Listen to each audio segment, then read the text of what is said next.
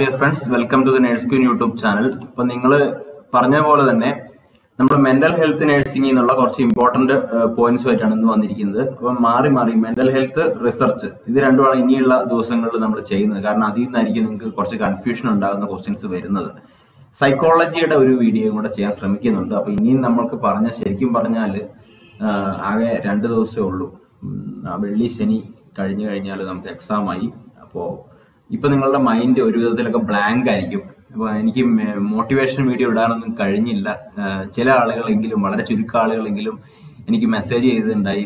ഭയങ്കര ഭയമാണ് പേടിയാണ് എക്സാം ഒക്കെ അടുത്തു എന്നൊക്കെ പറഞ്ഞിട്ട്.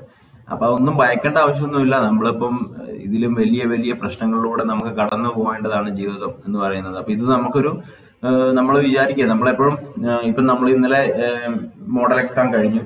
അപ്പൊ ആ ഒരു എക്സാമിന്റെ കാര്യങ്ങളും ഒക്കെ അത് നമുക്ക് ഒരു എക്സാം ഒരു ജസ്റ്റ് നമുക്കൊരു ട്രൈ ചെയ്യുക അറ്റൻഡ് ചെയ്യുക നന്നായിട്ട് അറ്റൻഡ് അറ്റൻഡ് ചെയ്യുക എന്നുള്ളതാണ്. അപ്പൊ നമുക്കത് നമ്മൾ നല്ല രീതിയിൽ എക്സാം നമ്മൾ ട്രൈ ചെയ്തിട്ടുണ്ടെങ്കിൽ ആ ഒരു രീതിയിൽ നമുക്ക് എക്സാം അറ്റൻഡ് ചെയ്യാൻ കഴിയും.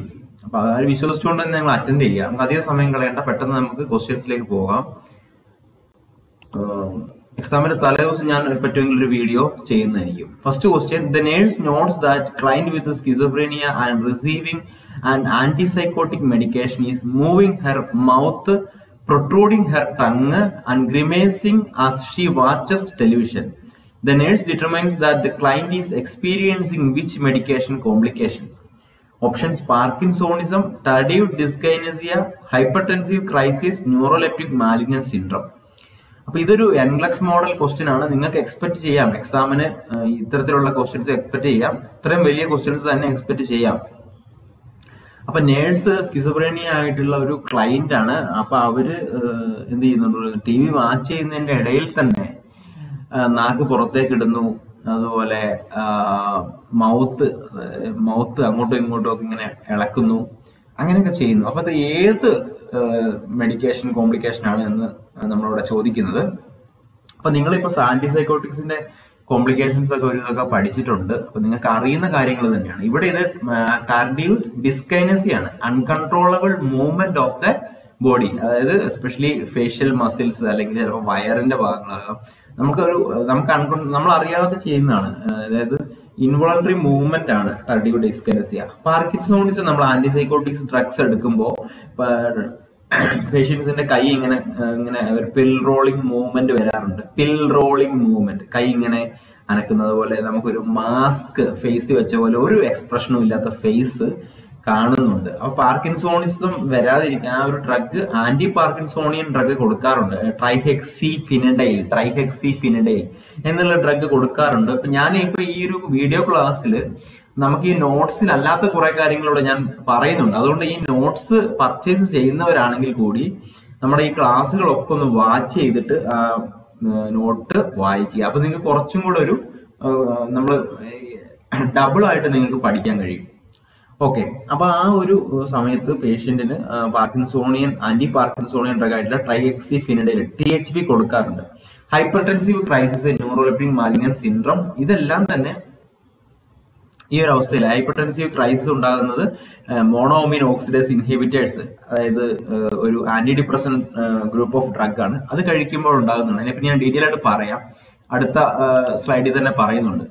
ഓക്കെ ടർഡ്യൂ ഡിസ്കൈനസ് എന്നോട് answer reaction occur from antipsychotics ആന്റിസൈക്കോട്ടിക്സിലുള്ള reaction ആണ് ടർഡ്യൂ ഡിസ്കൈനസി ആയിട്ട് വരുന്നത്. Uncontrollable involuntary movement of the body and extremities particularly tongue that is tardive dyskinesia അത് നിങ്ങൾ മറക്കരുത്. Parkinsonism that is antipsychotic side effect antipsychotics കുറെ കാലം കഴിക്കുമ്പോൾ ഉണ്ടാകുന്ന സൈഡ് ഇഫക്ട്സ് ആയിട്ട് പാർക്കിൻസോണിസം ഉണ്ടാകാറുണ്ട്. Tremors mask like facies rigidity shuffling gait ഇതൊക്കെ ഉണ്ടാകാറുണ്ട്. ട്രമേഴ്സ് ട്രമേഴ്സ് എന്താണ്? ട്രമേഴ്സ് എന്ന് പറഞ്ഞാൽ ഇങ്ങനെ ഒരു മൂവ്മെന്റ് ഒരു പിൽ റോളിംഗ് മൂവ്മെന്റ് ഉണ്ടാവും. മാസ്ക് ലൈക്ക് ഫിസിക്സ് പ്രത്യേകിച്ച് എക്സ്പ്രഷൻ ഒന്നും ഇല്ലാത്തൊരു ഫേസ് ഒരു മാസ്ക് ഇങ്ങനെ മുഖത്ത് വെച്ചാൽ എങ്ങനെ ഉണ്ട് അതുപോലത്തെ ഒരു ഫേസ് ആയിരിക്കും. അതുപോലെ റിജിഡിറ്റി ഒരു റിജിഡ് ആയിരിക്കും. ഷഫ്ലിംഗ് ഗേറ്റ് ഒക്കെ ഉണ്ടാകും.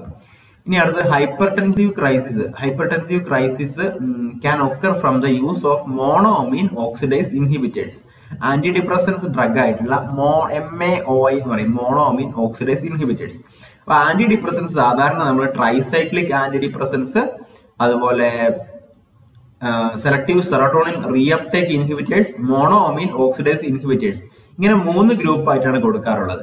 അതിനകത്ത് നമുക്കിപ്പോൾ അധികം ഉപയോഗിക്കാത്ത ഉപയോഗിക്കാത്ത ഒരു ഡ്രഗിന്റെ ഗ്രൂപ്പാണ് മോണോമിൻ ഓക്സിഡൈസ് ഇൻഹിബിറ്റേഴ്സ് കാരണം ഇത് തന്നെയാണ് ഹൈപ്പർ ടെൻസീവ് ക്രൈസിസ് ഉണ്ടാകുന്നത്. അതായത് പേഷ്യന്റിന് occipital headache severe hypertension neck stiffness nausea vomiting ഇത്തരത്തിലുള്ള പ്രശ്നങ്ങളൊക്കെ ഉണ്ടാകുന്നത് ഈ ഒരു മോണോമിൻ ഓക്സിഡസ് ഇൻഹിബിറ്റേഴ്സ് എന്നുള്ള ഡ്രഗ് എടുക്കുന്നതുകൊണ്ടാണ്. അപ്പൊ അതിന്റെ ഡീറ്റെയിൽ ആയിട്ട് വീണ്ടും നോക്കാം. Monoamine oxidase inhibitors the decrease the break down of tyramine from ingested food thus increasing the level of tyramine in the body excessive tyramine can elevate blood pressure and cause hypertensive crisis അപ്പൊ എന്താണ്? Tyramine rich food നമ്മൾ കഴിക്കുമ്പോൾ അതായത് ഇപ്പൊ card കാർഡില്ലേ? അതുപോലെ cheese തൈര് തൈര് അതുപോലെ cheese dried sausages hot dogs meat red meat അതുപോലെ ചിക്കൻ ലിവർ അതുപോലെ ബീഫ് ലിവർ ഇങ്ങനെയുള്ള ഫുഡ് ഐറ്റംസിലൊക്കെ തൈറാമിൻ റിച്ച് കണ്ടന്റ് ഉണ്ട്. അപ്പൊ എക്സാമിന് അങ്ങനെ തന്നെ ചോദിക്കാം കേട്ടോ. ഏതൊക്കെയാണ് തൈറാമിൻ റിച്ച് ഫുഡ് എന്ന് ചോദിക്കാം. അപ്പൊ അത് ഇന്ന ഫുഡ് കഴിക്കുമ്പോഴാണ് ഇന്ന എന്താണ് ഹൈപ്പർടെൻസീവ് ക്രൈസിസ് ഉണ്ടാകുന്നതെന്ന് ചോദിക്കാം. അപ്പൊ അതിനകത്ത് വരുന്നതാണ് caffeine coffee tea chocolate cheese അതുപോലെ മീറ്റ് പപ്പായ ബനാന അവക്കോഡ്സ് ഇങ്ങനെയുള്ള കാര്യങ്ങളൊക്കെ യോഗുർട്ട് ഇതൊക്കെ ഈ ഒരു തൈറാമിൻ റിച്ച് ഫുഡാണ്. അപ്പൊ ഇത് കഴിക്കുമ്പോൾ എക്സസീവ് തൈറാമിൻ ഉണ്ടാകുന്നു. അത് ഹൈപ്പർടെൻസീവ് ക്രൈസിലേക്ക് വരുന്നു. Neuroleptic malignant syndrome. That is fatal syndrome during anti psychotic therapy usually include very high fever one nought two two one nought four degree Fahrenheit irregular pulse accelerated heart beat tachycardia increased rate of respiration tachypnea muscle rigidity altered mental status autonomic nervous system dysfunction resulting in high or low blood pressure loss of bladder control അപ്പൊ ഇത്രയുമൊക്കെ പ്രശ്നങ്ങൾ neuroleptic malignant syndrome ഉണ്ടാകുമ്പോൾ വരാറുണ്ട്. Antipsychotic തെറാപ്പിയിൽ usually high fever high fever ഉണ്ടാകുന്നു. അതുപോലെ irregular pulse ഉണ്ടാകുന്നു. Heart beat കൂടുന്നു. തക്കിപ്പിനി ഉണ്ടാകുന്നു. മസിൽ റിജിഡിറ്റി ഉണ്ടാകുന്നു. ഓൾട്ടേഡ് മെന്റൽ സ്റ്റാറ്റസ് ഉണ്ടാകുന്നു. ഇത്രയൊക്കെ പ്രശ്നങ്ങൾ ഉണ്ടാകുന്നതാണ് ന്യൂറോലെപ്റ്റിക് മാലിന്യ സിൻഡ്രോം ഓക്കെ നമുക്കിനി ആന്റി ഡിപ്രസൻസിന്റെ കാര്യങ്ങൾ നോക്കാം. ആന്റി ഡിപ്രസൻസ് മെയിൻ ആയിട്ട് selective serotonin reuptake inhibitors atypical anti antidepressants tricyclic antidepressants monoamine oxidase inhibitors ഇങ്ങനെ തരംതിരിക്കുന്നുണ്ട്. അപ്പൊ എസ് എസ് ആർ ഐയിലെ എക്സാമ്പിൾ ആണ്. സിറ്റലോപ്രം എക്സിറ്റലോപ്രം ഫ്ലോക്സെറ്റിൻ ഫ്ലോക്സാമിൻ പരോക്സെറ്റിൻ സെർട്രാലിൻ. ഇത്രയും എസ് എസ് ആർ ഐ ഗ്രൂപ്പിൽ വരുന്നതാണ്. അറ്റിപ്പിക്കൽ ആന്റി ആന്റി ഡിപ്രസൻസ് അതായത് സൈഡ് എഫക്ട്സ് കുറഞ്ഞ ആന്റി ഡിപ്രസൻസ് ബ്രുപ്രോപ്പിയോൺ മിർട്ടാസെപ്പിൻ ഈ ബുപ്രോപ്പിയോപ്പിയോണിന്റെ സൈഡ് ഇഫക്ട്സ് ആയിട്ട് വരുന്നതാണ് സീഷേഴ്സ് എക്സാമിന് നേരത്തെ ചോദിച്ചിട്ടുണ്ട്. സീഷർ ഉണ്ടാകാനുള്ള ഒരു സാധ്യത ബുപ്രോപ്പിയോപ്പിയോൺ ഡഗിന് ഉണ്ട്. സീഷർ ഒട്ടും ഉണ്ടാക്കാത്ത ഒരു ഡ്രഗാണ് മിർട്ടാസാപ്പിൻ ഇപ്പൊ സീഷർ ഹിസ്റ്ററി ഉള്ളവർക്ക് പോലും ഡോക്ടേഴ്സ് പ്രിസ്ക്രൈബ് ചെയ്യുന്ന ഒരു ഡ്രഗാണ് മിർട്ടാസാപ്പിൻ അതൊരു ആന്റി ഡിപ്രസന്റ് ആണ്. അത് ബുപ്രോപ്യൂൺ ആണെങ്കിൽ സീഷർ ഉണ്ടാക്കുന്ന സൈഡ് എഫക്ട്സ് ഉണ്ടാക്കുന്ന ഒരു മെഡിസിൻ ആണ്. അടുത്ത tricyclic antidepressants amitriptyline clomipramine imipramine doxepin monoamine oxidase inhibitors വരുന്നതാണ് ഐസോ കാർബോക്സാസിൻ ഫിനലാസിൻ ട്രാൻസൈക്ലോപ്രോമിൻ ഓക്കെ നമുക്കിനി അടുത്ത കുറച്ച് ക്വസ്റ്റ്യൻസ് നോക്കാം. ഇമ്പോർട്ടന്റ് ആണ്. The nurse is administering risperidone to a client with schizophrenia who is scheduled to be discharge before discharge which instruction should the nurse provide to the client options get adequate sunlight continue driving as usual avoids food in rich rich in potassium get up slowly when changing position അപ്പൊ ഇവിടെ ചോദിച്ചിരിക്കുന്നത് ഒരു client റെസ്പിരിട്ടോൺ കഴിക്കുന്നുണ്ട്. അതായത് typical അടിപ്പിക്കൽ antipsychotic ആണ്. അതായത് side effects കുറഞ്ഞ drugs ആണ്. അപ്പോ പേഷ്യന്റിന് ഡിസ്ചാർജ് ഇൻസ്ട്രക്ഷൻ ആയിട്ട് കൊടുക്കേണ്ടത് എന്തൊക്കെയാണെന്നാണ് അപ്പൊ കറക്റ്റ് ആൻസർ നമ്മൾ ഇവിടെ പറയുന്നത് get up slowly when changing position കാരണം എന്താണ്? പേഷ്യന്റിന് ഓർത്തോസ്റ്റാറ്റിക് ഹൈപ്പോടെൻഷൻ ഉണ്ടാകാനുള്ള ചാൻസ് ഉണ്ട്. അതായത് ഇരുന്നിട്ട് എണീക്കുമ്പോൾ തല കറങ്ങാനുള്ള ഒരു ചാൻസ് ഉണ്ട് ഹൈപ്പോടെൻഷൻ വരാനുള്ള ഒരു ചാൻസ് ഉണ്ട്.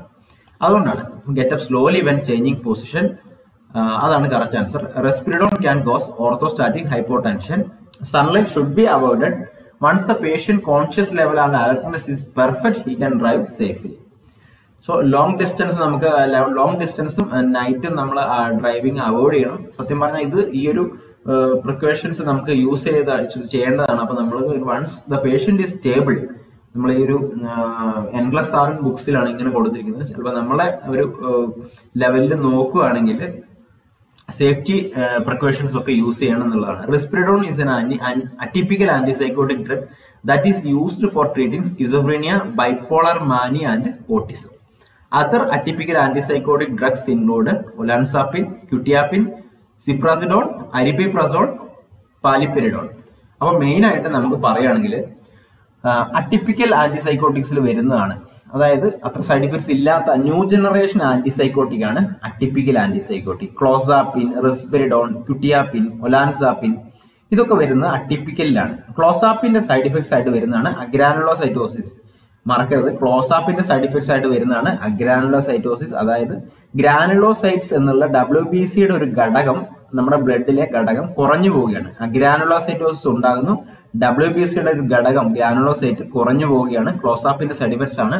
ടിപ്പിക്കൽ ആന്റിസൈക്കോട്ടിക്സ് ആണ്. ക്ലോർപ്രോമാസിൻ ഹാലോപെരിഡോൾ ലോക്സാപ്പിൻ ഫ്ലുഫനാസിൻ തുടങ്ങിയ ഡ്രഗുകൾ ക്ലോർപ്രോമാസിൻ ഹാലോപെരിഡോൾ ലോക്സാപ്പിൻ ഫ്ലുഫനാസിൻ അപ്പോൾ ഫസ്റ്റ് ആന്റിസൈക്കോട്ടിക് ഏതാന്ന് ചോദിച്ചാൽ ക്ലോർപ്രോമാസിൻ ആണ്. ആയിരത്തി തൊള്ളായിരത്തി അൻപത്തി നാലിലാണ് ഉണ്ടായത്.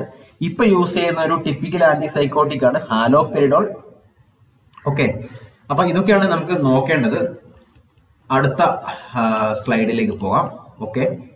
Next slide a client is taking lithium reports vomiting abdominal pain blurred vision tinnitus and tremors the lithium level is two point five milli equilibrium per litre the nurse plans care based on which representation of this level so client is taking lithium reports vomiting അപ്പോൾ lithium toxicity വന്നിട്ടുണ്ട്. Lithium level വല്ലാണ്ട് കൂടിയിട്ടുണ്ട്. അപ്പൊ എന്താണ്?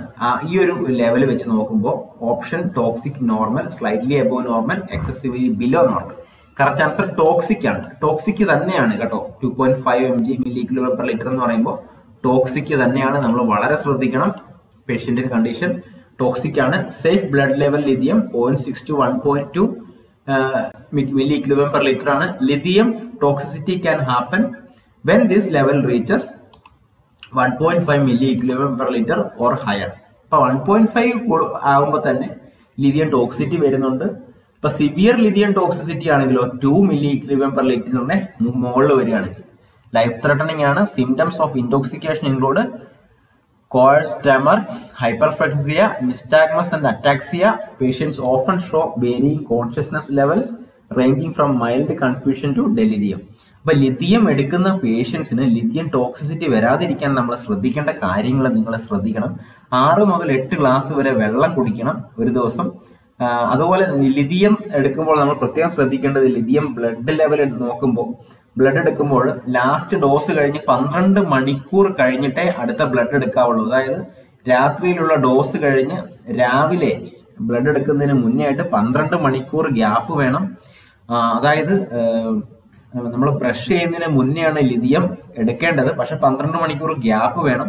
Lithium മരുന്ന് കഴിക്കുമ്പോൾ lithium tablet കഴിക്കുമ്പോൾ with food കഴിക്കണം to reduce gastro intestinal irritation അതുപോലെ ലിഥിയം ഡ്രഗ് കഴിക്കുമ്പോൾ ടീ കോഫി തുടങ്ങിയിട്ടുള്ള കൂടുതലായിട്ട് കോള കൊക്കക്കോള ടീ കോഫി തുടങ്ങിയവ അമിതമായിട്ട് കഴിക്കരുത്. ഡയോററ്റിക് ഇഫക്റ്റ് ഉണ്ടാകുന്ന ഡ്രഗ്സ് കഴിക്കരുത്. അതുപോലെ നമ്മൾ ലാസിക്സ് പോലെയുള്ള ഇഞ്ചക്ഷൻ കൊടുക്കരുത്. കാരണം അവ എക്സസീവ് യൂറിനേഷൻ ഉണ്ടാകുന്നു സോഡിയം ലെവൽ കുറഞ്ഞ പ്രശ്നമാണ്. അതുപോലെ ഒരു ലിഥിയം ഒരു ടാബ്ലറ്റ് നിങ്ങൾ മിസ്സാക്കി കഴിഞ്ഞാൽ ടു അവേഴ്സിന് ഉള്ളിലാണെങ്കിൽ ആ ടാബ്ലറ്റ് നിങ്ങൾക്ക് എടുക്കാം. അതായത് പത്ത് മണിക്കുള്ള ടാബ്ലറ്റ് നിങ്ങൾ മറന്നുപോയി കഴിച്ചില്ല. പതിനൊന്നര മണിക്കാണ് നിങ്ങൾക്ക് ഓർത്തെങ്കിൽ നിങ്ങൾക്ക് ടാബ്ലറ്റ് എടുക്കാം. പക്ഷെ രണ്ട് മണിക്കൂറിന് ശേഷമാണ് പന്ത്രണ്ട് മണിക്ക് ശേഷമാണ് നിങ്ങൾ ആ ടാബ്ലറ്റ് കഴിച്ചതില്ലെങ്കിൽ ആ ടാബ്ലറ്റ് ആ ഡോസ് നിങ്ങൾ മിസ് ചെയ്തിട്ട് അടുത്ത ടാബ്ലറ്റ് അടുത്ത ഡോസ് മാത്രമേ കഴിക്കാവുള്ളൂ. ആ ഡോസ് നിങ്ങൾ മിസ് ചെയ്യുക കഴിക്കരുത്. അതായത് രണ്ട് മണിക്കൂറിനുള്ളിലാണെങ്കിൽ നിങ്ങൾക്ക് കഴിക്കാം. രണ്ട് മണിക്കൂറിന് ശേഷമാണെങ്കിൽ പേഷ്യന്റ് കഴിക്കരുത് എന്നുള്ളതാണ്. അപ്പൊ ഇത്രയും കാര്യങ്ങളാണ്. വളരെ ഇമ്പോർട്ടന്റ് ആയിട്ടുള്ള ഒരു കാര്യങ്ങളാണ് പറഞ്ഞത്. അതുപോലെ നേരത്തെ പറഞ്ഞ പോലെ ട്രൈസൈക്ലിക് ആന്റി ഡിപ്രസൻസ് ഓവർഡോസ് കൊടുക്കുമ്പോൾ നമ്മൾ ശ്രദ്ധിക്കേണ്ട കുറച്ച് കാര്യങ്ങൾ പറയാൻ വിട്ടുപോയിരുന്നു ട്രൈസൈക്ലിക് ആന്റി ഡിപ്രസൻസ് കഴിക്കുമ്പോൾ നമ്മൾ ഓവർഡോസ് ആയി കഴിഞ്ഞാൽ പോയിസണിങ് ആയിട്ട് വന്നു കഴിഞ്ഞാൽ പേഷ്യന്റിന് മോണിറ്റർ ചെയ്യണം വൈറ്റൽ സയൻസ് മോണിറ്റർ ചെയ്യണം electro card E C G check ചെയ്യണം അതുപോലെ ഗ്യാസ്ട്രിക് ലാവേജ് നോക്കണം ഗ്യാസ്ട്രിക് ലാവേജ് കൊടുക്കണം ആക്ടിവേറ്റഡ് ചാർക്കോൾ അഡ്മിനിസ്റ്റർ ചെയ്യണം ആക്ടിവേറ്റഡ് ചാർക്കോൾ കൊടുക്കണം ഐ വി ഫ്ലൂയിഡ് കൊടുക്കണം ഐ വി ഫ്ലൂയിഡ് കൊടുക്കണം. അതുപോലെ സോഡ ബൈകാർബണേറ്റ് സോഡ ബൈകാർബണേറ്റ് ആണ് ട്രൈസൈക്ലിക് ആന്റിഡിപ്രോസൻസ് ഓവർഡോസ് ആയിട്ട് വരുമ്പോൾ കഴിക്കുന്നത് കൊടുക്കുന്നത്. സോഡ ബൈകാർബണേറ്റ് ആണ് ആന്റിഡോഡ് ആയി കൊടുക്കുന്നത്. ട്രൈസൈക്ലിക് ആന്റിഡിപ്രോസൻസിന്റെ ആയി കൊടുക്കുന്നത് സോഡ ബൈകാർബണേറ്റ് ആണ്. സോഡ ബൈകാർബണേറ്റ് പി എച്ചിന്റെ ലെവൽ കൂട്ടുന്നു സോഡിയം സോഡിയം അളവ് കൂട്ടുന്നു. അതുപോലെ അമിട്രിപ്പിലിന്റെ ആന്റി ആന്റിഡോട്ടായിട്ട് അമിട്രിപ്പിലിന്റെ ട്രൈസൈക്ലിക് ആന്റി ഡിപ്രസൻസ് ആണ് അമിട്രിപ്പിലിൻ അതിന്റെ ആന്റിഡോട്ടായിട്ട് കൊടുക്കുന്നതാണ് ഫിസോസ്റ്റിഗ്മിൻ. ഫിസോസ്റ്റിഗ്മിൻ ഫിസോസ്റ്റിഗ്മിൻ. അമിട്രിപ്പിലിന്റെ ആന്റി ആന്റിഡോട്ട് ആണ് physostigmine physostigmine. Okay. Next question fourth question drug of choice to reverse a dystonic reaction is options prochlorperazine diphenhydramine chlorpromazine fentanyl drug of choice to reverse a dystonic reaction is correct answer diphenhydramine diphenhydramine diphenhydramine drug of choice to reverse dystonic reaction that is diphenhydramine diphenhydramine അതുപോലെ നമ്മൾ മൂഡിൽ stabiliser കൊടുക്കുന്ന drugs ആണ് lithium carbonate mood stabilise stabiliser ആയിട്ട് കൊടുക്കുന്ന drug ആണ് lithium carbonate നേരത്തെ പറയാൻ വിട്ടുപോയതാണ് അതുപോലെ പറഞ്ഞത്. സോ ഇവിടെ മനസ്സിലായെന്ന് തോന്നുന്നു. അപ്പൊ നമുക്ക് diphenhydramine diphenhydramine is an antihistamine antihistamine drug ആണ് ഡൈഫിൻ ഹൈഡ്രാമിൻ.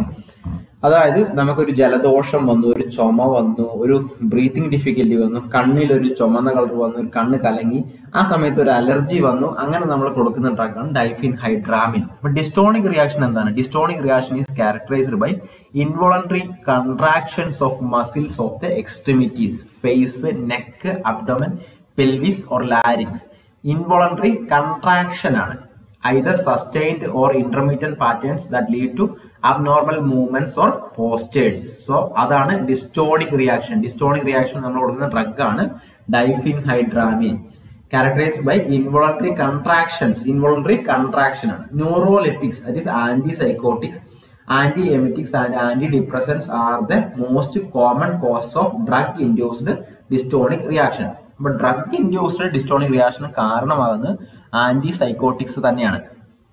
സോ നമ്മൾ ഇന്ന് വളരെ ഇമ്പോർട്ടന്റ് ആയിട്ടുള്ള കുറച്ച് ഡിസ്കസ് ഡിസ്കഷനാണ് നടന്നത്.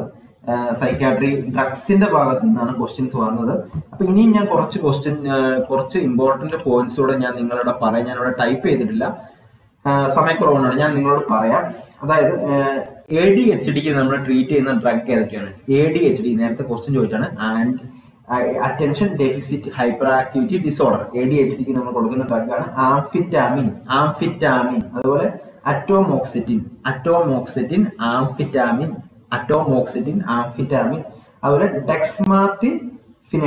dexmethylphenidate dex dexmethylphenidate dex phenidate dex phenidate amphetamine atomoxetine ഇത്രയും ഡ്രഗ് നമ്മൾ കൊടുക്കുന്നത് എ ഡി എച്ച് ഡിക്കാണ് അതുപോലെ അൽഷിമേഴ്സ് ഡിസീസിന് കൊടുക്കുന്ന ഡ്രഗ് ആണ് ഡൊണപ്പസിൽ ഡൊണപ്പസിൽ നമ്മൾ കൊടുക്കുന്ന അൽഷിമേഴ്സ് ഡിസീസിനാണ്. അൽഷിമേഴ്സ് ഡിസീസിന് നമ്മൾ കൊടുക്കുന്ന ഡ്രഗ് ആണ് ഡൊണപ്പസിൽ ഗാലൻഡാമിൻ. ഗാലൻഡാമിൻ റിവാസ്റ്റിഗ്മിൻ. റിവാസ്റ്റിഗ്മിൻ ഗാലൻഡാമിൻ ഡൊണപ്പസിൽ ഇത് അൽഷിമേഴ്സ് ഡിസീസിന് കൊടുക്കുന്ന ഡ്രഗ് ആണ് ആംഫിറ്റാമിൻ അറ്റോമോക്സിറ്റിൻ ഡെക്സ്മീതൈൽ ഫെനിഡൈറ്റ് ഡെക്സ്മീതൈൽ ഫെനിഡൈറ്റ് ഇവ നമ്മൾ കൊടുക്കുന്നത് എ ഡി എച്ച് ഡിക്ക് കൊടുക്കുന്ന ഡ്രഗ് ആണ് അപ്പൊ ഇത്രയും നമ്മൾ കുറച്ച് ഇമ്പോർട്ടന്റ് പോയിന്റ്സ് ആണ് ഡിസ്കസ് ചെയ്തത്. പല കാര്യങ്ങളും നമുക്ക് ടൈപ്പ് ചെയ്യാൻ കഴിയാത്ത കാര്യങ്ങളൊക്കെ ഞാൻ പറഞ്ഞിട്ടുണ്ട് ഡിസ്കസ് ചെയ്തിട്ടുണ്ട്. പല ആളുകളും എനിക്ക് പല പല റിക്വസ്റ്റ് തരുന്നുണ്ട്. മൈക്രോബയോളജി ചെയ്താൽ ചെയ്യാവോ അപ്പൊ ഇത്രയും സമയത്തിനുള്ളിൽ നമ്മുടെ ഈ ഒരു കുറഞ്ഞ സമയം രണ്ടോ മൂന്നോ ദിവസമുള്ളത് നമ്മളെല്ലാം കൂടെ വലിച്ചു വാരി ചെയ്തിട്ട് കാര്യമില്ല. പഠിക്കുന്ന കാര്യങ്ങൾ വളരെ വൃത്തിയായിട്ട് പഠിക്കുക എന്നുള്ളതാണ്. അപ്പൊ ഞാൻ ആലോചിക്കുന്നത് റിസർച്ചും സൈക്കോളജി സൈക്യാട്രി ഇത് മൂന്നും തന്നെയായിരിക്കും നമ്മൾ ഇനി വരുന്ന ദിവസങ്ങളിൽ ചെയ്യുന്നത്. അതായിരിക്കും നിങ്ങൾക്ക് കൂടുതലും ഉപകാരപ്രദം. ഇനി എന്തെങ്കിലും ഒരു ക്വസ്റ്റ്യൻ നിങ്ങൾക്ക് സംശയങ്ങൾ ഉണ്ടെങ്കിൽ നിങ്ങൾ അങ്ങോട്ടും ഇങ്ങോട്ടും ഗ്രൂപ്പിൽ ഡിസ്കസ് ചെയ്യുക. വാട്സപ്പ് ഗ്രൂപ്പ് ഉണ്ട്. അതിനകത്ത് ജോയിൻ ചെയ്യുക. അതുപോലെ നമ്മുടെ ഈ ഒരു പി ഡി എഫ് മേടിച്ച ആളുകൾ നമ്മുടെ ജനറൽ വാട്സ്ആപ്പ് വാട്സപ്പ് ഗ്രൂപ്പിൽ ജോയിൻ ചെയ്തില്ലെങ്കിൽ എന്നോട് പറയാം ഞാൻ നിങ്ങളെ ജനറൽ വാട്സപ്പ് ഗ്രൂപ്പിൽ ആഡ് ചെയ്യാം. കാരണം നിങ്ങൾ അങ്ങോട്ടും ഇങ്ങോട്ടും കുറേ ആളുകളുണ്ടെങ്കിൽ സംശയങ്ങളൊക്കെ ചോദിക്കാൻ അത് വളരെ ഉപകാരമാണ്. അപ്പോൾ ഇനി ഇതുവരെയും മെറ്റീരിയൽസ് വാങ്ങി വാങ്ങി വാങ്ങി വാങ്ങാത്തവർക്ക് എന്നെ ഒന്ന് കോൺടാക്ട് ചെയ്യുക. ഞാൻ മെറ്റീരിയൽസ് എല്ലാം അയച്ചു തരാം. എക്സാമിനും തൊട്ട് മുന്നേ ആയിട്ട് ഈ മെറ്റീരിയൽസ് ഒക്കെ വായിക്കുമ്പോൾ കുറച്ചെങ്കിലും ഉപകാരം ഉണ്ടാവുമെന്ന് എനിക്ക് തോന്നുന്നുണ്ട്. കാരണം ഞാൻ ഈ വീഡിയോ ചെയ്തു വന്നപ്പോഴേക്കും എനിക്ക് അങ്ങനെ തോന്നുന്നു all the best thank you നന്നായിട്ട് പഠിക്കുക. ഒട്ടും ഭയപ്പെടാതെ നന്നായിട്ട് പഠിക്കുക. താങ്ക്